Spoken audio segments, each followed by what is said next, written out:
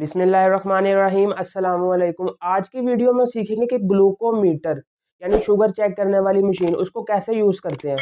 तो अगर तो आप आज ये पूरी वीडियो देखते हैं तो वीडियो देखने के बाद आप ये मुकम्मल तौर पर सीख जाएँगे कि शुगर वाली मशीन, यानी ग्लूकोमीटर को किस तरह इस्तेमाल करना है। तो चलें फिर शुरू करते हैं। आप बॉक्स देख सकते हैं तो इसे ओपन करते हैं और देखते हैं इसके अंदर क्या है। तो सबसे पहले हमारा ग्लूकोमीटर मौजूद है, यानी शुगर चेक करने वाली मशीन। तो मज़ीद ओपन करते हैं बॉक्स को और देखते हैं। तो सबसे पहले ये एक पेन मौजूद है। तो बेसिकली इसके अंदर ये पिंस लगेंगी ब्लू कलर की, मैं अभी आपको लगा के भी दिखाता हूँ, ठीक है? तो इनको भी अभी साइड पे रखते हैं और मज़ीद देखते हैं कि इस छोटी सी शीशी के अंदर क्या है। बेसिकली ये इस शीशी के अंदर स्ट्रिप्स है, जिनके ऊपर ब्लड लगाते हैं, मैं अभी आपको दिखाता हूँ। तो ये आप देख सकते हैं, ये स्ट्रिप्स होती हैं, ठीक है? ये जो आपको सिंगल साइड नज़र आ रही है ना इसकी सिंगल सी, एक लकीर सी नज़र आ रही है। इसके ऊपर बेसिकली ब्लड लगाना है और जो दूसरी साइड वो मशीन में लगानी है। बाकी इसके ऊपर ना एक कोड लिखा होता है। ये आप देख सकते हैं ट्रिपल थ्री का कोड लिखा हुआ है। ठीक है मशीन के अंदर एक यूएसबी सी लगी है। ये आप देख सकते हैं। ठीक है, इस पर भी कोड लिखा हुआ है। जब ये नहीं नहीं मिलेगी ना आप न्यू खरीद के लाएँगे तो ये यूएसबी आपको इसके साथ मिलती है। आपने वो यूएसबी इसमें लगानी है। यानी हर दफ़ा जब आप ये शीशी खरीदेंगे नहीं मिलेगी, वो आपने मशीन में लगा देनी है। ठीक है? बाकी ये कोड मैच करना ज़रूरी है। अगर कोड मैच नहीं होगा तो आपकी मशीन जो है वो सही काम नहीं करेगी। तो ये लाजमी तौर पे आपने ख्याल रखना है इसका।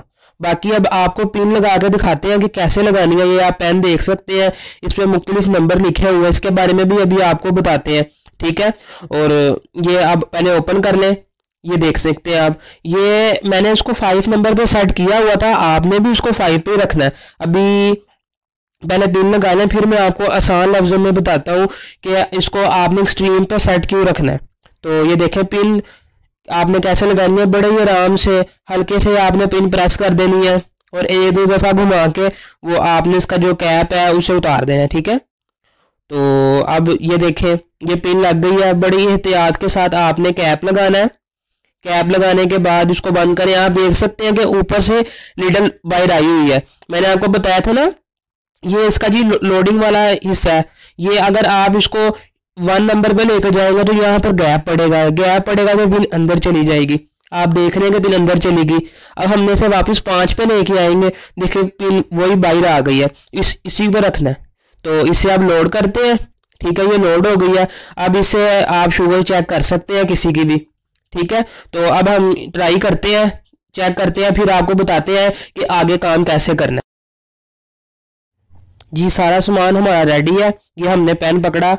और जिस फिंगर की आपने चेक करनी है, उस फिंगर पर रख के इसका बटन दबाएँ। तो ये देखें जी, अब ये आपने हल्का हल्का प्रेस करना था कि ब्लड निकल आए। और सिर्फ़ ब्लड को ये स्ट्रिप के साथ टच करना है। ये देखें ब्लड स्ट्रिप पे लग गया, अब उसने हमें टाइम दे दिया। ये कुछ टाइम के बाद अब वो ओरिजिनल रीडिंग बता देगा कि क्या रीडिंग बनी है, क्या ब्लड में ग्लूकोज का लेवल है। तो ये देख सकते हैं आप 283 वैल्यू आ गई हमारे पास। आपने भी इसी तरह चेक करना है। तो ये तरीका बेसिकली चेक करने का और आई होप आपको समझ आ गई होगी कि किस तरह चेक करनी है। जी शुगर तो अब हमने चेक कर लिया है। अब आप अपनी स्क्रीन के सामने एक चार्ट देख सकते हैं, ठीक है? उसके अंदर चार ही रोज हैं, चार ही कॉलम है। सबसे पहले ये जो चार ग्रीन बॉक्सेज है, जिसपे नॉर्मल लिखा हुआ, ये हर एक पेशेंट के लिए है। यानी पेशेंट तो नहीं कहेंगे, हर एक शख्स के लिए जो नॉर्मल है, जिसको शुगर नहीं है शुगर की बीमारी नहीं है। तो आप वैल्यूज़ देख सकते हैं। जो दूसरे नंबर पे येलो बॉक्सेस बने हुए जहाँ पे लिखा हुआ इम्पेयर्ड ग्लूकोज ये जो प्री डायबिटिक पेशेंट जो होते हैं ना, ये उनके लिए, यानी ये वो पेशेंट होते हैं जिनकी जो ब्लड में शुगर है, वो नॉर्मल से तो ज़्यादा है, लेकिन जो ओरिजिनल शुगर वाला पेशेंट है ना, उससे कम है। यानी ये कि डेंजर जोन में खड़े हुए हैं, ये बॉर्डर लाइन पे खड़े हुए हैं, इन्हें शुगर हो सकती है। अगर किसी की वैल्यूज़ इतनी आ रही है, वो डॉक्टर को चेक करवाएँ डॉक्टर से मशवरा करें, बेहतर गाइड आपको डॉक्टर ही करेगा। बाकी जो तीसरे नंबर पे आप देख सकते हैं रेड बॉक्सेस में, वो तो उसी पेशेंट के लिए जैसे शुगर है। तो अब ये जो सबसे पहले आप कॉलम देख रहे हैं, इस पर फास्टिंग लिखा हुआ यानी खाना खाने से पहले, फिर आफ्टर ईटिंग खाना खाने के बाद और थर्ड वाले में लिखा हुआ है कि खाना खाने के दो से तीन घंटों के बाद।